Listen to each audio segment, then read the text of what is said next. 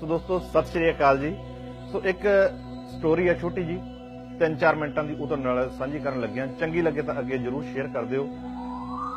ਇੱਕ ਐਂਬੂਲੈਂਸ ਪੌਣੇ 11 ਵਜੇ ਆ ਕੇ ਹਸਪੀਟਲ ਦੇ ਬਾਹਰ ਖੜਦੀ ਹੈ ਸਟ੍ਰੈਚਰ ਤੇ ਇੱਕ ਸੋਹਣੇ ਸੁਨੱਖੇ ਮੁੰਡੇ ਨੂੰ ਪਾ ਕੇ ਉਹਦੇ ਨਾਲ ਨਾਲ ਉਹਦਾ ਪਿਓ ਭੱਜਿਆ ਜਾ ਰਿਹਾ। ਪਿੱਛੇ ਮਾਂ ਖੁੱਲੇ ਬਾਲਾਂ ਦੇ ਵਿੱਚ ਭੱਜੀ ਜਾ ਰਹੀ ਹੈ ਤੇ ਇੱਕ ਝੁਰੜੀਆਂ ਵਾਲੇ ਹੱਥਾਂ ਦੇ ਵਿੱਚ ਦਾਦੀ ਆ ਜਿਹੜੀ, ਉਹ ਝੋਲਾ ਫੜੀ ਮਗਰ ਮਗਰ ਭੱਜੀ ਆ ਰਹੀ ਹੈ। ਪਿੰਡ ਦੇ ਤਿੰਨ ਚਾਰ ਮੁੰਡੇ ਹੋਰ ਪਿੱਛੇ ਜਿਹੜੇ ਨਾਲ ਬੰਦੇ ਆ, ਉਹ ਵੀ ਤੁਰੇ ਆ ਰਹੇ ਆ।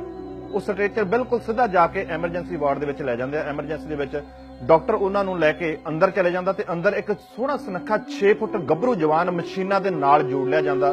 ਕੁਝ ਇੱਕ ਪਾਈਪਾਂ ਪਾ ਕੇ ਅੰਦਰ, ਕੁਝ ਇੱਕ ਜਿਹੜਾ ਲਿਕਵਿਡ ਆ ਉਹ ਅੰਦਰ ਪਾਇਆ ਜਾਂਦਾ, ਕੁਝ ਇੱਕ ਲਿਕਵਿਡ ਆ ਜਿਹੜਾ ਉਹ ਬਾਹਰ ਕੱਢਿਆ ਜਾ ਰਿਹਾ।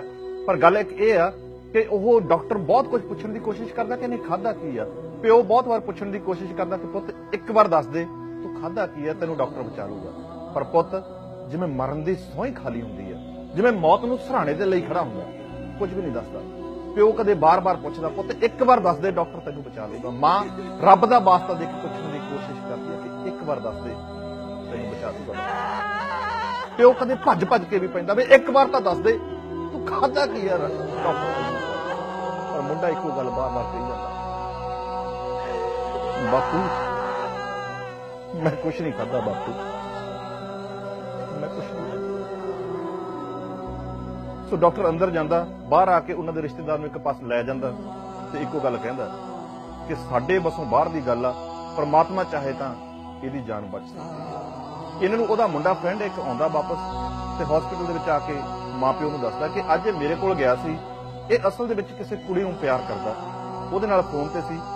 ਉਹਦੀਆਂ ਮਿੰਤਾਂ ਕਰ ਰਿਹਾ ਸੀ ਤੇ ਉਹਨੇ ਇੰਨੀ ਕੁ ਗੱਲ ਕਹਿ ਕੇ ਇਹਦਾ ਫੋਨ ਰੱਖਤਾ। ਕਿ ਮੈਂ ਹੁਣ ਤੇਰੇ ਨਾਲ ਗੱਲ ਨਹੀਂ ਕਰ ਸਕਦੀ ਕਿਉਂਕਿ ਮੇਰਾ ਰਿਸ਼ਤਾ ਬਾਹਰਲੇ ਦੇਸ਼ ਦੇ ਵਿੱਚ ਹੋ ਚੁੱਕਿਆ ਇਹਨੇ ਬਹੁਤ ਲੜਾਈ ਕੀਤੀ, ਬਹੁਤ ਮਿਹਨਤਾਂ ਕੀਤੀਆਂ ਕਿ ਮੈਂ ਇਕਲੌਤਾ ਮੁੰਡਾ, ਸਾਰੀ ਜ਼ਮੀਨ ਜਾਇਦਾਦ ਵੇਚ ਕੇ ਵੀ ਆਪਾਂ ਬਾਹਰ ਜਾ ਸਕਦੇ ਹਾਂ।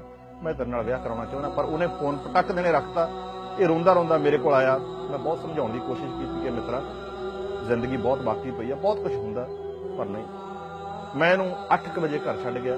ਜਦ ਘਰ ਵੜਿਆ, ਤੇ ਮਾਂ ਨੇ ਬੜੇ ਪਿਆਰ ਨਾਲ ਪੁੱਛਿਆ ਕਿ ਪੁੱਤ ਤੈਨੂੰ ਸਰੋਂ ਦਾ ਸਾਗ ਬਹੁਤ ਪਸੰਦ ਆ, ਅੱਜ ਮੈਂ ਤੇਰੇ ਪਸੰਦ ਦਾ ਸਾਗ ਬਣਾਇਆ ਗੰਦਲਾਂ ਵਾਲਾ ਆਪ ਤੋੜ ਕੇ ਲਿਆਈ ਆ। ਕਹਿੰਦਾ, ਮਾਂ, ਅੱਜ ਮੈਨੂੰ ਭੁੱਖ ਨਹੀਂ, ਮੈਂ ਮਨਜਿੰਦਰ ਦੇ ਘਰੋਂ ਹੀ ਖਾ ਕੇ ਆਇਆ ਕਹਿ ਕੇ ਇੱਕ ਛੋਟੀ ਜਿਹੀ ਡੱਬੀ ਚੱਕ ਕੇ ਚੁਬਾਰੇ ਦੇ ਵਿੱਚ ਚੜ ਜਾਂਦਾ ਤੇ ਪੌਣੇ 10 ਵਜੇ ਦੀ ਗੱਲ ਆ।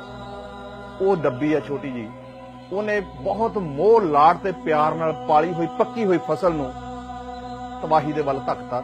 ਛੋਟੀ ਜੀ ਸਲਫਾਸ ਦੀ ਡੱਬੀ ਨੇ 6 ਫੁੱਟਾ ਗੱਭਰੂ ਜਵਾਨ ਤਬਾਹੀ ਦੇ ਵੱਲ ਧੱਕਤਾ।